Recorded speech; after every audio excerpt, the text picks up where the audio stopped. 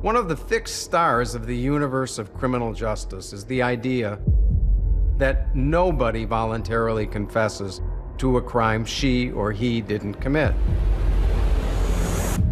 I look at Angie's case, and in 23 years I've been trying to put this puzzle together, and the center's missing. Like any good plot twist, Carol Dodge does something few would expect. If I did anything know about this, I would say, but I do not know. In 2008, she tracked down Chris Tapp's new defense lawyer, John Thomas. One day after court, Carol Dodge stops me, and I thought, oh no, this is not going to be good. I'm representing Chris Tapp. Her daughter was brutally murdered. Carol told me that I needed to watch the videotapes of Chris's interrogations and that she thought that Chris Tapp was innocent. I don't know what the hell you guys want from me. There were nine separate interrogations. It was hours and hours of polygraph sessions. Unless you want to just tell me everything right now. I've been trying to. I wish I could. Me, in my bright mind, if I help him, you know, I can help him solve this and I can become a hero or I'm a good guy or whatever it is. Okay, we're just going to jump right back into it here.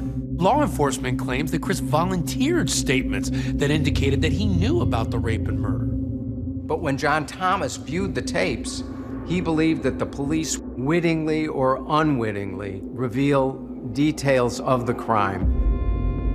It wasn't just stab once or slice once. There was a lot of aggression.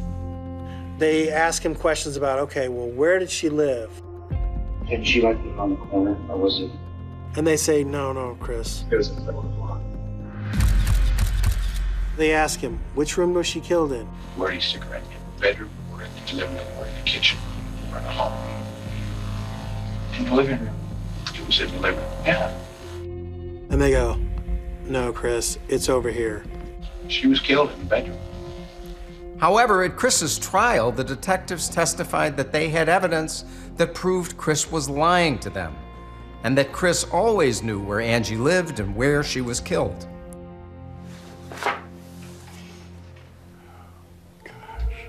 Separately, Carol Dodge, along with John Thomas, reached out to an expert in wrongful convictions to review the interrogation tapes.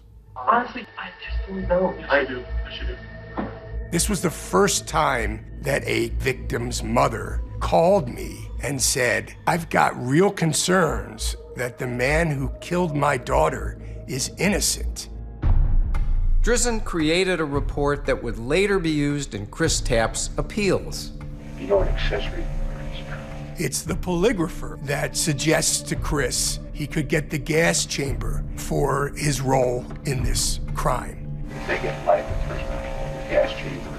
It's clearly the kind of threat that can lead people to give false confessions.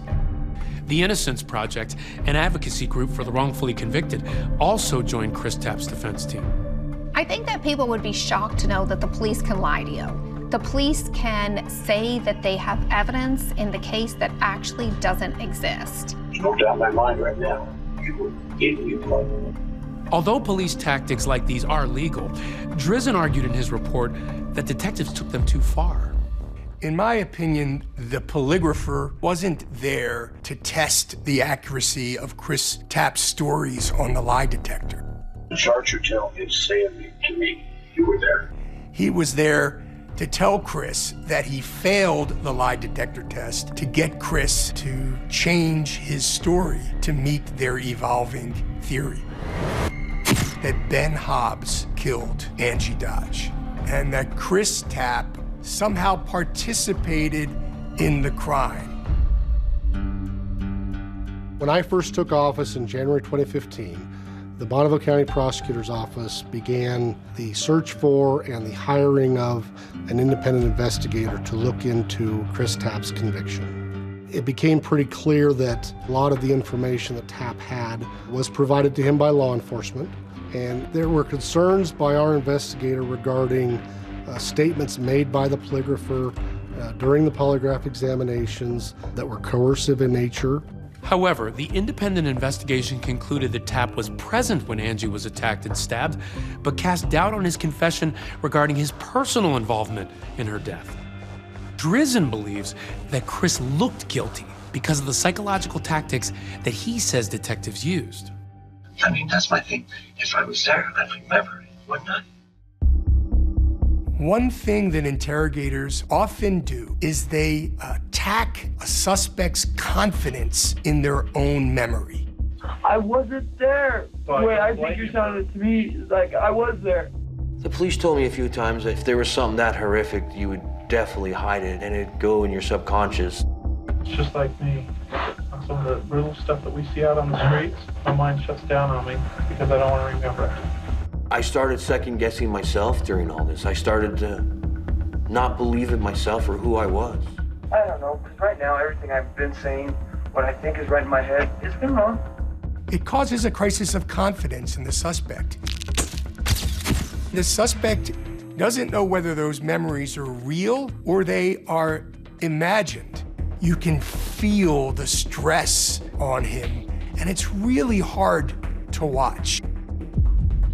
You were there. You're the one that held her down. The band asked you to try to help. Is that correct? Yes. Okay.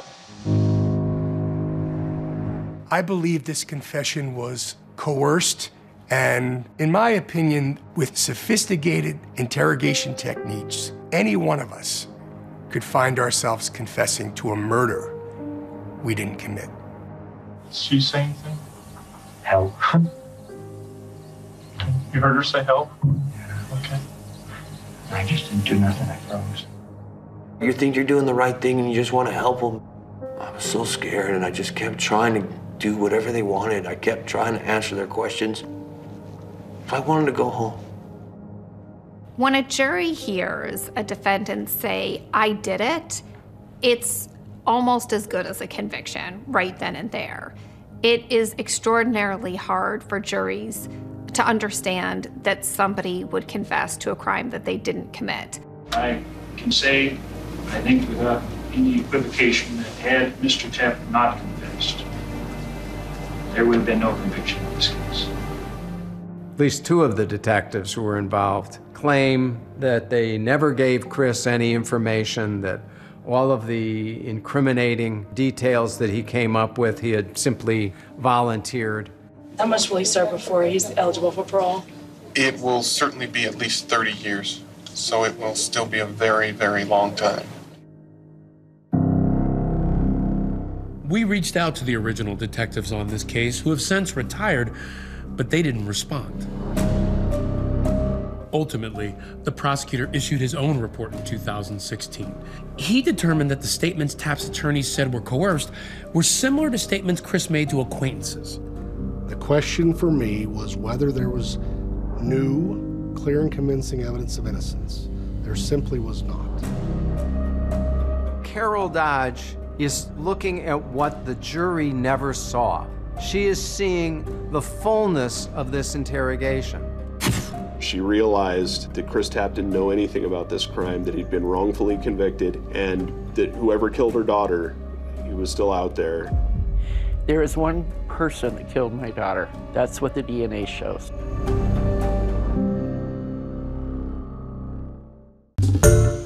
Hi everyone, George Stephanopoulos here. Thanks for checking out the ABC News YouTube channel. If you'd like to get more videos, show highlights, and watch live event coverage, click on the right over here to subscribe to our channel and don't forget to download the ABC News app for breaking news alerts. Thanks for watching.